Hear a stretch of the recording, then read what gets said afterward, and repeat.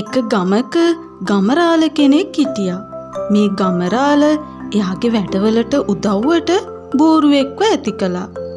ඉතින් හැමදාම උදේට ගමරාල බෝරුවගේ පිටේ බඩු ගොඩා පටවගෙන ටවුන් එකට ගියා. මේ ගෙනියන බඩු ටවුන් එකේ කඩවල් වලට විකුණලා සල්ලි ගොඩාක් ගන්නවා. මේ ගන්න සල්ලි වලින් ගමේදී විකුණන්න පුළුවන් බඩු ටවුන් එකෙන් අරගෙන ඒ බඩු බෝරුවගේ පිටේ පටවගෙන ආයෙමත් හවස් වෙනකොට ගමට එනවා. ගෙදරට එන ගමරාල අතනම් හරිම මහන්සි කියාගෙනම තමයි ගෙට යන්නේ. ගෙට ගිහිල්ලා හොඳට කාලා බීලා ගමරාල නිදා ගන්නවා. ගමරාල එක්ක බඩු අරගෙන ගිය බෝරුවට ගමරාල කවදාවත් කන්න දුන්නේ නැහැ. අඩුම තරමේ හරියට නිදාගන්න තැනක්වත් දුන්නේ නැහැ. වැස්ස වෙලාවට තෙමි තෙමි තමයි බෝරුව හැමදාම හිටියේ.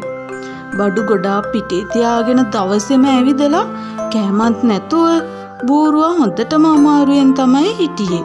ඉතින් මේ බූරුවා කරන්නේ වතුර ටිකක් බීලා ගහක් යටට වෙලා නිදාගන්න එක. පහුවෙන්ද උදේම නැගිටින ගමරාල බූරුවගේ ළඟට ඇවිත් පයින් එකක් ගහනවා කම්මැලි බූරුවා නැගිටිනවා ඉක්මනට කියලා.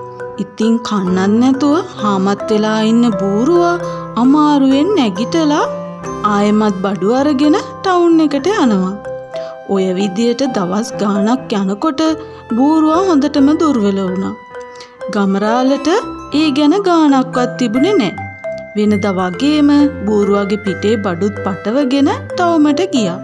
ඔන්න එදා හවස බූරුවයි ගමරාලයි ගෙදර එන ගමන් තමයි හිටියේ.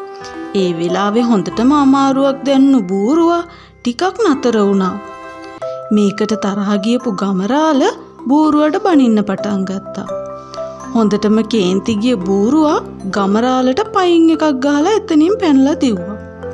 බූරුවා ගහපු පාරට ගමරාල ඈතට විසිවෙලා ගිහින් වැටුණා. ගමරාලට නැගිට ගන්නවත් බැරුව ඉන්නකොට එතනින් ගිය මිනිස්සෙක් තමයි ගමරාලව නැගිට්ටුවේ.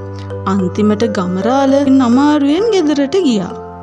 එදා ඉඳන් ගමරාලට උදව්වට බූරුවෙක් හිටියේ නෑ. හැම දේම තනියම තමයි කරගත්තේ.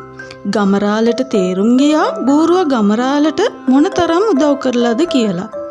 ගමරාල හුඟක් ලැජ්ජ වුණා බූරුවට සලකපු විදිහ ගැන.